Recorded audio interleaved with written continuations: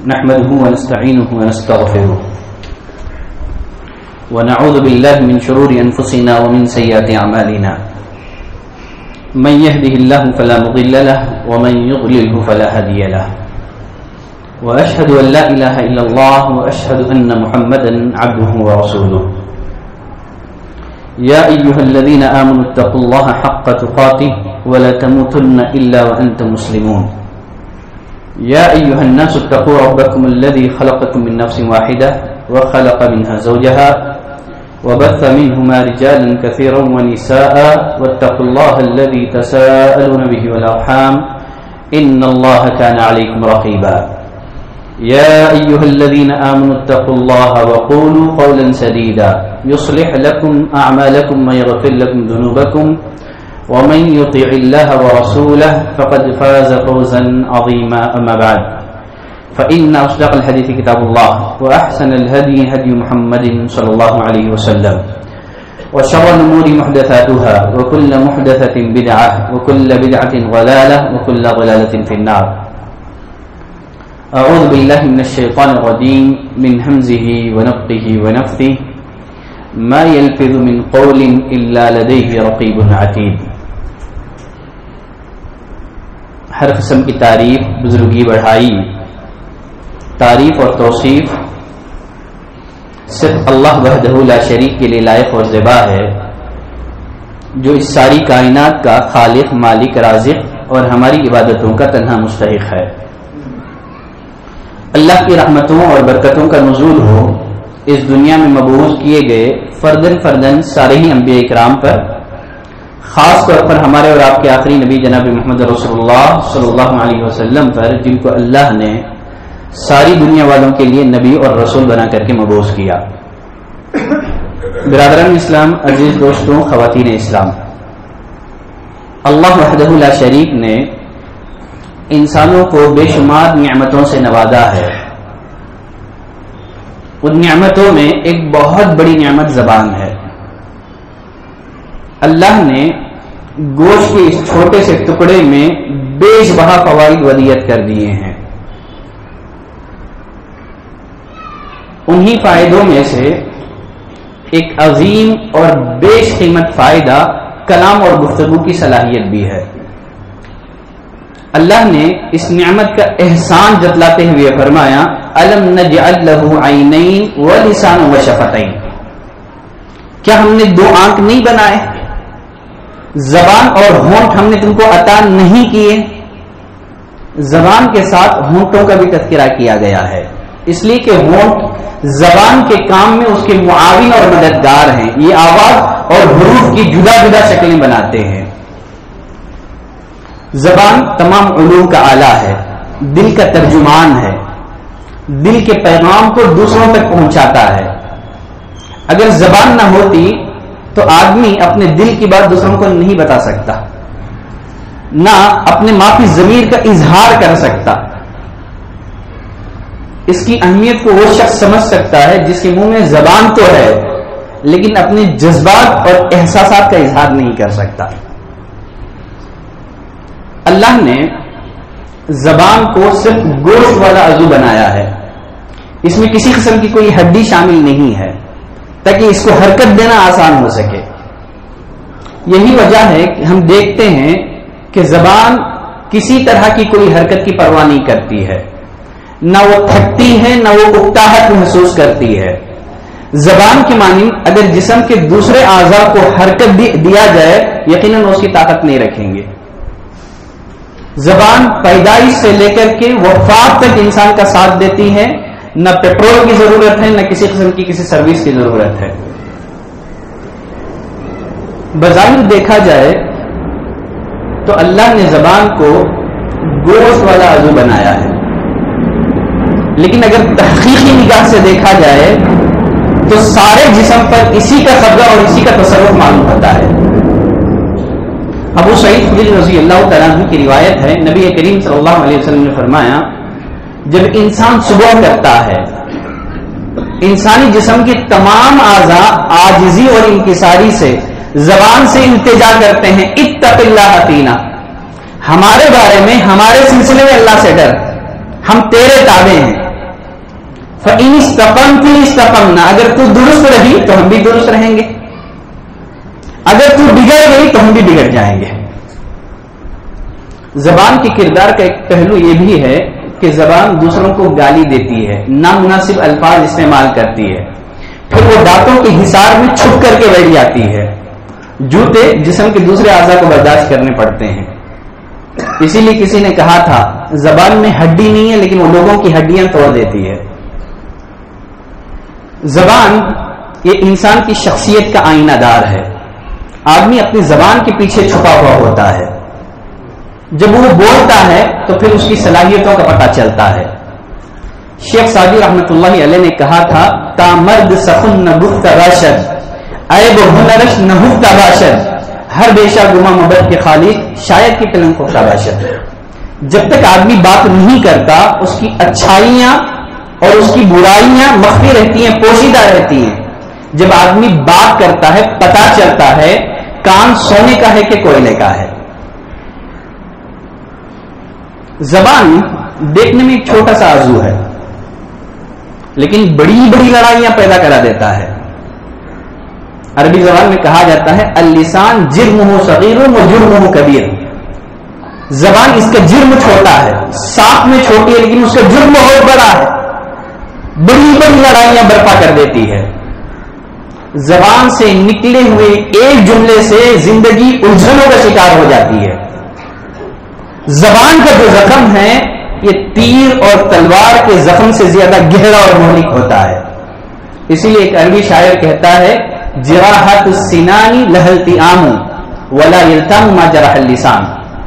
تیر اور تلوار کا زخم بھر جاتا ہے، لیکن زبان کا زخم بھرتا نہیں ہے۔ دل، یہ انسانی جسم کا بیتاج بادشاہ ہے۔ دل سے متعلق نبی کریم صلی اللہ علیہ وسلم نے فرمایا ان جسد اے لوگوں، تمہارے سینے میں گوشت کا ایک ٹکڑا ہے۔ اذا صلحت، صلح الجسد اگر دل درست ہو جائے تو تمہارا پورا جسم درست ہو جائے گا۔ اگر دل میں بگاڑ واقع ہو جائے، تمہارے پورے جسم میں بگاڑ واقع ہو جائے گا۔ لیکن ساتھ یہ بات بھی ذہن میں رکھیں، دل کی اصلاح بھی اس وقت تک ممکن نہیں ہے جب تک کہ زبان کی اصلاح نہ کر لی جائے۔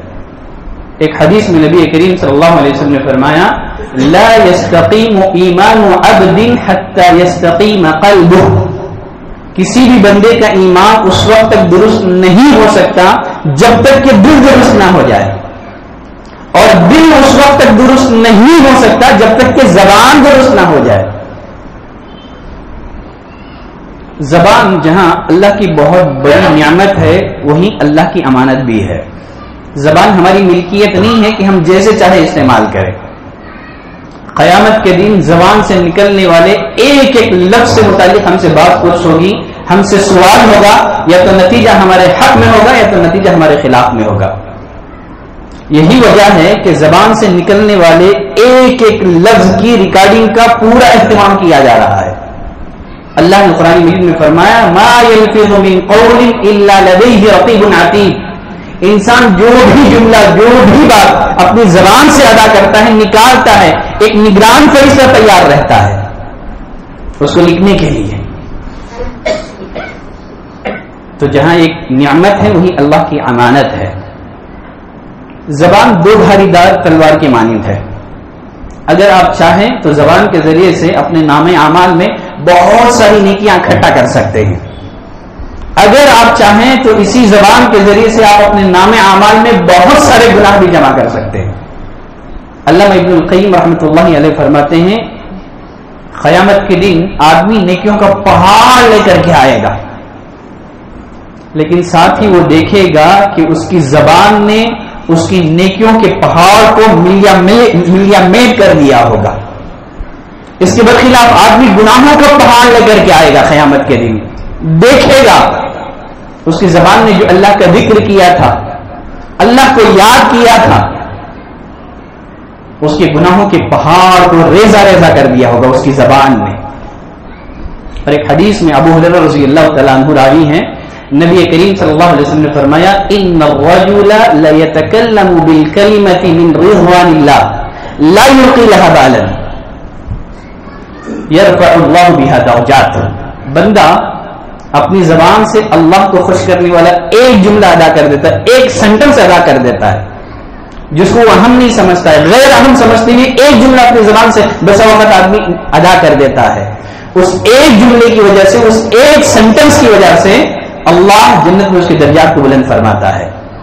وَإِنَّ الرَّجُلَ لَيَتَكَلَّمُ بِالْكَلِمَةِ مِنْ سَخَطِ اللَّهِ لَا لا يرى بها بأسا۔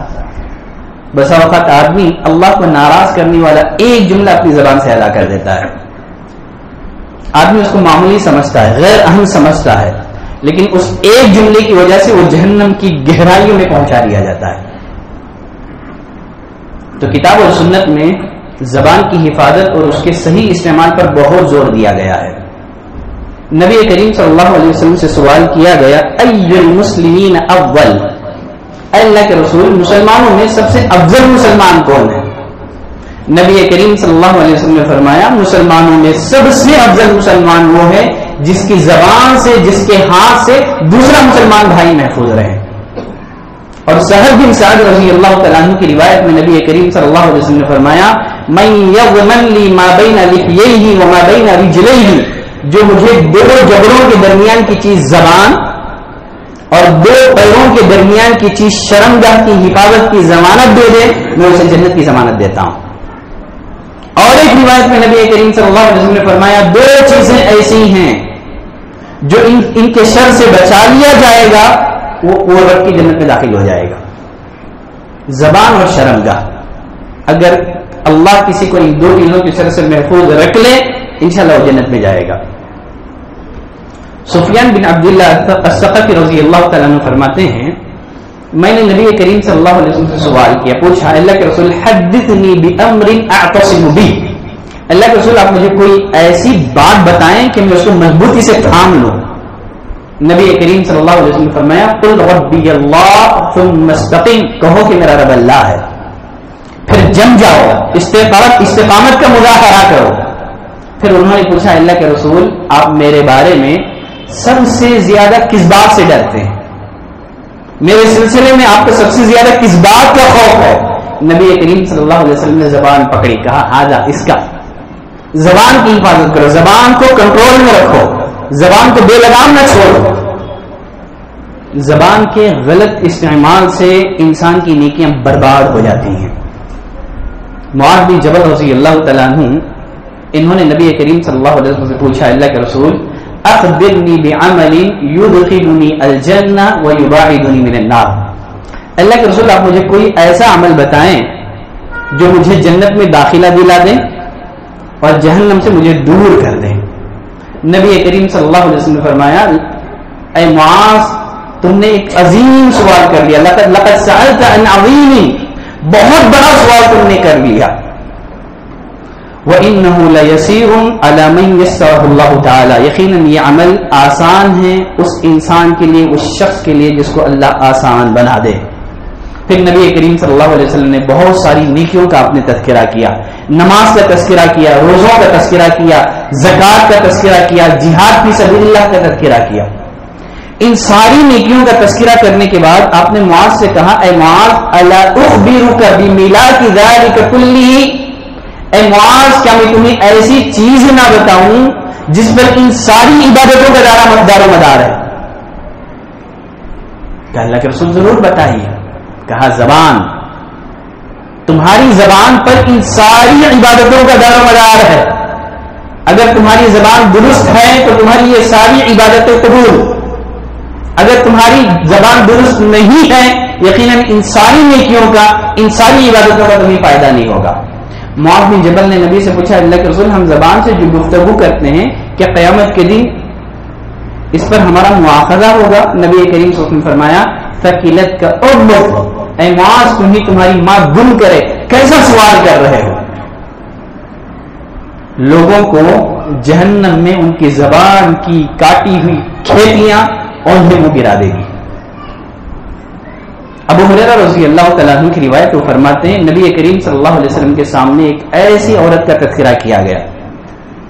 جو بڑی نمازی تھی، روزگار تھی، فرائض کے ساتھ ساتھ نوافل کا بھی اہتمام کرنے والی تھی۔ پوچھا گیا، اللہ کے رسول فلاں فلاں عورت ہے، جس کی عبادتوں کا بہت زیادہ چرچا ہے۔ غیر انہا لا توذی بلسانہا جیرانہا۔ لیکن پرابلم یہ ہے، مسئلہ یہ ہے، وہ اپنی زبان سے پڑوسیوں کو تکلیف دیتی ہے۔ نبی کریم صلی اللہ علیہ وسلم نے فرمایا کہ لا خیر فیہا، اس عورت میں کوئی خیر نہیں ہے۔ یہ تو جہنمی ہے۔ یہ تو جہنمی ہے۔ اور ایک عورت سے متعلق نبی کریم صلی اللہ علیہ وسلم سے سوال کیا گیا، جو بہت زیادہ عبادتوں کا اہتمام نہیں کرتی تھی، بس فرائض کا اہتمام تھا اس کے پاس۔ لاکھ بھی نشانی ہے جیران لیکن زبان سے پڑوسیوں کو تکلیف نہیں دیتی تھی۔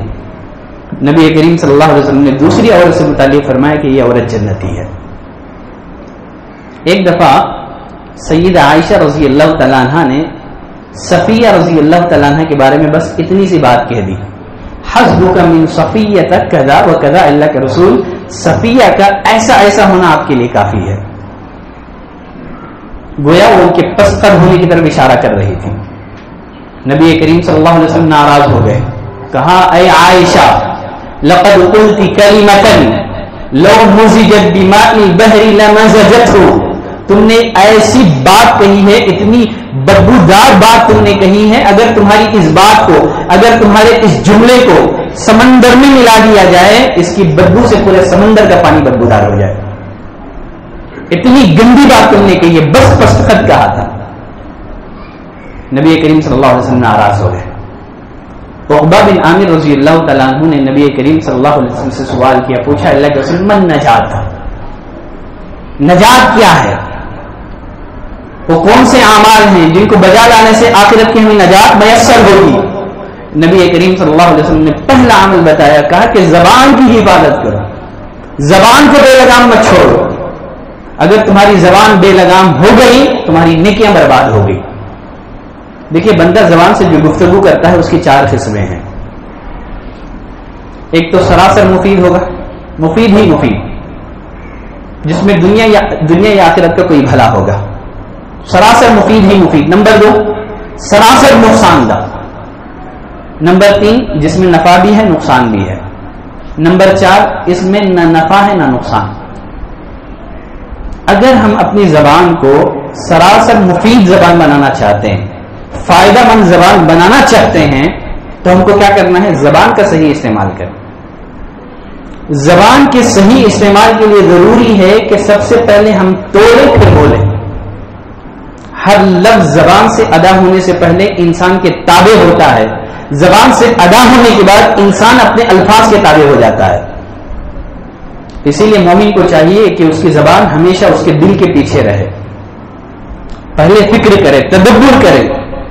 اگر مناسب ہو تو بولے ورنہ خاموش رہیں۔ نبی کریم صلی اللہ علیہ وسلم نے فرمایا، من كان يؤمن بالله واليوم الاخر جو اللہ اور آخرت کے دن پر ایمان رکھتا ہے، اس کو چاہیے کہ بات کرے تو اچھی بات کرے۔ یا تو خاموش رہے۔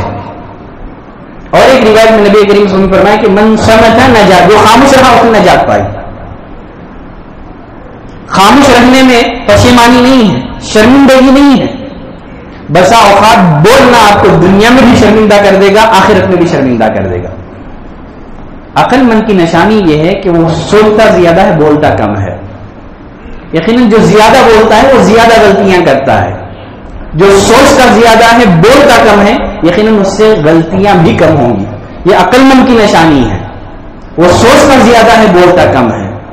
تو آپ اپنی زبان کو سراسر مفید بنانا چاہتے ہیں۔ اس کے لیے ضروری ہے کہ آپ کوئی بھی بات کرنا چاہ رہے ہیں، کوئی بھی جملہ آپ ادا کرنا چاہ رہے ہیں۔ سب سے پہلے توڑے پھر بولے اگر آپ اپنی زبان کو سراسر مفید بنانا چاہتے ہیں، اس کے لیے ضروری ہے کہ لا یعنی گفتگو سے اپنے آپ کو بچائیں، جس کا کوئی فائدہ نہیں ہے، نہ دنیا میں فائدہ، نہ آخرت میں فائدہ۔ نبی کریم صلی اللہ علیہ وسلم نے فرمایا، من حسن اسلام المرئی ترکہ مالا یعنی. آدمی کے اچھے مسلمان ہونے کی علامت آدمی کے اچھے مسلمان ہونے کی علامت یہ ہے کہ وہ لا یعنی گفتگو نہیں کرتا ہے۔ بولے گا تو بڑی بات کرے گا، ورنہ خاموش رہے گا۔ تو اچھے مسلمان کی علامت یہ ہے، وہ لا یعنی گفتگو سے بچتا ہے۔ نبی کریم صلی اللہ علیہ وسلم کے زمانے میں ایک شخص کا انتقال ہو گیا۔ دوسرے شخص نے اس سے کہا، خوش ہو جا۔ اللہ کی جنت تیرے لیے ہے۔ اللہ کی بشارت سے خوش ہو جا۔ نبی کریم صلی اللہ علیہ وسلم نے خوشخبری دینے والے سے کہا، تم اس کے عمل کو نہیں جانتے ہو۔ ممکن ہے کہ اس نے زندگی میں کوئی لایانی گفتگو کی ہو؟ تم کیسے جنت کی بشارت دے رہے ہو؟ اس کو کس بنا پر تم اسے جنت کی بشارت دے رہی ہو؟ ممکن ہے اس نے اپنی زندگی میں کبھی لایانی گفتگو کی ہو؟ یا ایسی چیز کے دینے میں خرچ کرنے میں بکیلی کی ہو جس میں بکیلی جائز نہ ہو؟ تو لا یعنی گفتگو سے جس کا نہ دنیا میں بھلا ہو، نہ آخرت میں بھلا ہو، ایسی گفتگو سے اپنے آپ کو بچائیں۔ اگر آدمی اپنی زبان کو سراسر مفید بنانا چاہتا ہے، اس کے لیے ضروری ہے جب بھی بولے سچ بولے کھری بات۔ اللہ نے فرمایا، یا الذین اتقوا اللہ وقولوا قولا سدیدا۔ اے ایمان والو، اللہ سے ڈرو، بولو تو درست بات، سچی بات، صحیح بات، کھری بات اپنی زبان سے ادا کرو۔ تاکہ اللہ تمہارے کاموں کی اصلاح کر دے۔ یصلح لکم اعمالکم ویغفر لکم ذنوبکم۔ تاکہ اللہ تمہارے گناہوں کو بخش دے۔ اور ایک حدیث میں نبی کریم صلی اللہ علیہ وسلم نے فرمایا کہ ہمیشہ سچ بولو۔ علیکم بالصدق۔ سچائی کو لازم پکڑو۔ فان الصدق يهدي الى البر۔ اس لیے کہ سچائی آدمی کو نیکی کی طرف لے جاتی ہے۔ اور نیکی آدمی کو جنت کا راستہ دکھاتی ہے۔ تو آدمی اپنی زبان کو سراسر مفید بنانا چاہتا ہے تو ہمیشہ سچ بولے۔ کھری بات کہیں، درست بات کہیں، انصاف پر مبنی گفتگو کریں۔ آدمی اپنی زبان کو سراسر مفید بنانا چاہتا ہے، اس کے لیے ضروری ہے کہ زیادہ سے زیادہ اللہ کا ذکر کرے۔ نبی کریم صلی اللہ علیہ وسلم نے فرمایا کہ لا تکثر الکلام بغیر ذکر اللہ۔ اللہ کے ذکر کے علاوہ زیادہ گفتگو نہ کرو۔ اللہ کے ذکر کے علاوہ زیادہ بات نہ کرو۔ اس لیے کہ اللہ کے ذکر کے علاوہ زیادہ گفتگو آدمی کے دل کو مردہ کر دیتی ہے۔ آدمی کا دل سخت ہو جاتا ہے۔ نبی کریم صلی اللہ علیہ وسلم سے پوچھا گیا، سوال کیا گیا اللہ کے رسول الاعمال احب اللہ؟ اللہ کو سب سے پسندیدہ عمل کون سا ہے؟ نبی کریم صلی اللہ علیہ وسلم نے فرمایا ان تموت ولسانک رطب بذکر اللہ. تمہیں اس حال میں موت آئے کہ تمہاری زبان اللہ کے ذکر سے تر ہو۔ تو ایک مسلمان کو چاہیے، ایک مومن کو چاہیے کہ ہمیشہ چلتے پھرتے اللہ کا ذکر کرے۔ کلیمتانی حبیبتانی الرحمن، نبی کریم صلی اللہ علیہ وسلم فرمایا، دو کلمے ایسے ہیں رحمان کو بہت زیادہ پسندیدہ ہیں۔ زبان پر بہت آسان بھی ہیں۔ میزان میں بہت زیادہ وزنی اور بھاری بھی ہیں۔ قیامت کے دن جب ہماری نیکیوں کو توڑا جائے گا، ہمارے اعمال کو توڑا جائے گا، یہ دو کلیمے میزان میں بہت زیادہ وزنی اور بھاری ہوں گے۔ وہ دو کلیمے کون سے ہیں؟ سبحان اللہ و بحمدہ سبحان اللہ العظیم۔ چلتے پھرتے آپ اس کا ورد کریں۔ سبحان اللہ و بحمدہ سبحان اللہ العظیم۔ نبی کریم صلی اللہ علیہ وسلم فرمایا کہ سب سے بہترین چیز جو آدمی اپنے پاس جمع کرتا ہے، اکٹھی کر کے رکھتا ہے، اس میں سے ایک شکر گزار دل، ذکر کرنے والی زبان وہ لسان داخل۔ تو ہمیشہ اللہ کا ذکر کریں۔ اگر آپ اپنی زبان کو سراسر مفید بنانا چاہتے ہیں، زیادہ سے زیادہ قرآن سے اپنا تعلق مضبوط کریں، قرآن کی تلاوت کریں۔ آپ جانتے ہیں قرآن مجید، جس کے ایک ایک حرف کی تلاوت پر نبی کریم صلی اللہ علیہ وسلم نے دس دس نیکیوں کی بشارت سنائی ہے۔ آپ نے فرمایا، میں یہ نہیں کہتا کہ علی لام میم ایک حرف ہے۔ حرف ولام حرف ومیم حرف علیف ایک حرف ہے، لام ایک حرف ہے، میم ایک حرف ہے۔ بندہ علیف لام میم کہتا ہے، تیس نیکیوں کا اپنے آپ کو حقدار بناتا ہے۔ قرآن مجید کی زیادہ سے زیادہ تلاوت کرے۔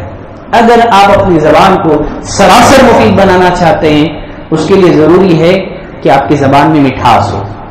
نرمی ہو۔ سخت کلامی سے بچیں۔ اللہ نے نبی کریم صلی اللہ علیہ وسلم پر اپنے احسان کا تذکرہ کرتے ہوئے فرمایا فبیما رحمت من اللہ من اللہ کی رحمت کے نتیجے میں، اللہ کی رحمت کے باعث آپ لوگوں کے حق میں نرم دل واقع ہوئے ہیں۔ اگر آپ سخت دل ہوتے، بد زبان ہوتے کہ جو لوگ آپ کے پاس جمع ہیں، سب آپ کے پاس سے چھٹ جاتے۔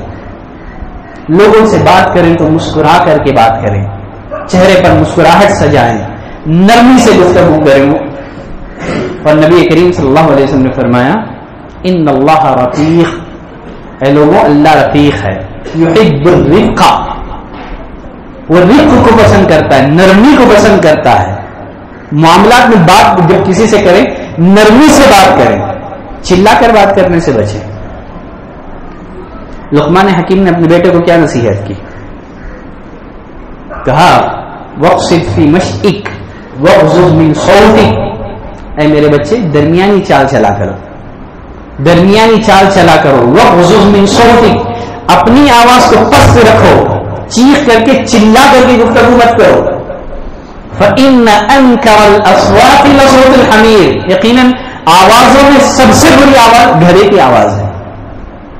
جو چلا کر کے بات کرتے ہیں، جو چیخ کر کے بات کرتے ہیں، ان کو گھڑوں سے تجویز دی گئی ہے۔ ایسے لوگ گھڑے ہیں۔ تو جب آپ لوگوں سے بات کریں، تو نرمی، اپنی اپنی زبان میں نرمی ہو چیخ کر، چلا کر کے لوگوں سے گفتگو نہ کریں۔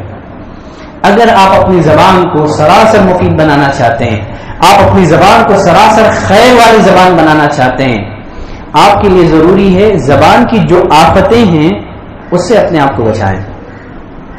زبان کی آفتیں کیا ہے زبان کی دو بڑی آفتیں۔ نمبر ایک، اظہار حق سے خاموشی۔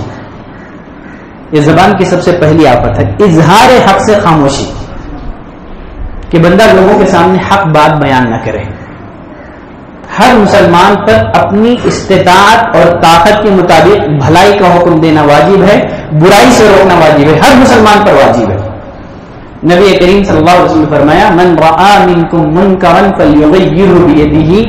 برائی دیکھو، ہاتھ سے روکو ہاتھ سے نہیں روک سکتے تو زبان کا استعمال کرو۔ آخری درجہ یہ ہے کہ اس برائی کو اپنے دل میں برا تصور کرو۔ تو ہر مسلمان پر اپنی استطاعت بھر۔ یہ ضروری ہے کہ وہ بھلائی کا حکم دے۔ اپنی اولاد کو نماز کا حکم دے۔ وہ امر اہل کا بسلا وہ صبر علیہ اللہ نے فرمایا، اپنے اپنے بیوی بچوں کو نماز کا حکم دو۔ اور خود بھی نماز کا اہتمام کرو۔ یہ واجب ہے۔ اگر آپ گھروں میں دیکھ رہے ہیں، بے حیائی ہے، فحاشی ہے، آپ کے بچے نماز نہیں پڑھتے ہیں، پھر بھی آپ دیوز بنے ہوئے ہیں۔ ایسے آدمی کو بے غیرت دیوز کہا جاتا ہے۔ جو گھر میں بے حیائی کو دیکھتا ہے، فحاشی کو دیکھتا ہے، گھر میں بے دینی کا ماحول ہے، اس کے بچے نماز نہیں پڑھتے ہیں۔ گھروں میں ناچ گانے ہیں، گھر میں بے حیائی ہے، پھر بھی اسے غصہ نہیں آتا ہے۔ بے غیرت انسان، جس کی غیرت مر چکی ہے، جس کی حیا مر چکی ہے۔ نبی کریم صلی اللہ علیہ وسلم نے فرمایا، قیامت والے دن اللہ تین لوگوں سے بات نہیں کرے گا۔ تین لوگوں سے اللہ ہم کلام نہیں ہوگا۔ وہ تین لوگ کون ہیں؟ جن سے اللہ قیامت کے دن بات نہیں کرے گا۔ نظر رحمت سے اللہ ان کو نہیں دیکھے گا۔ اس میں سے دیوت ہے، بے غیرت انسان ہے۔ بچے کو بڑا نمازی ہوگا۔ وہ بڑا متقی ہوگا پرہیزگار ہوگا۔ وہ فجر کی نماز کی ادائیگی کے لیے مسجد آئے گا، لیکن کبھی اپنے بچوں کو نہیں بولے گا۔ اپنے بچوں کو نہیں جگائے گا اپنی بیوی کو نہیں جگائے گا۔ ایسا انسان بے غیرت انسان ہے۔ اظہار حق سے خاموشی، یہ بھی زبان کی ایک بہت بڑی ہلاکت ہے۔ تو ہمارے لیے ضروری ہے کہ جہاں بھی رہیں، خیر کے دائی بن کر کے زندگی گزارے زبان کی دوسری تباہی کیا ہے؟ نہ حق گفتگو کرنا نبی کریم صلی اللہ علیہ وسلم فرمایا اکثر خفایا ابن آدم فی لسانی ابن آدم کے اکثر گناہوں کا تعلق کس سے ہے زبان سے ہی ہے زبان سے نکلنے والا جملہ آپ کو کافر بھی بنا سکتا ہے اللہ کو گالی دینا نبی کو گالی دینا غیر اللہ کو مدد کے لیے پکارنا آدمی اپنے زبان کے استعمال کے ذریعے سے ہی غیر اللہ کو مدد کے لیے پکارتا ہے۔ اللہ نے فرمایا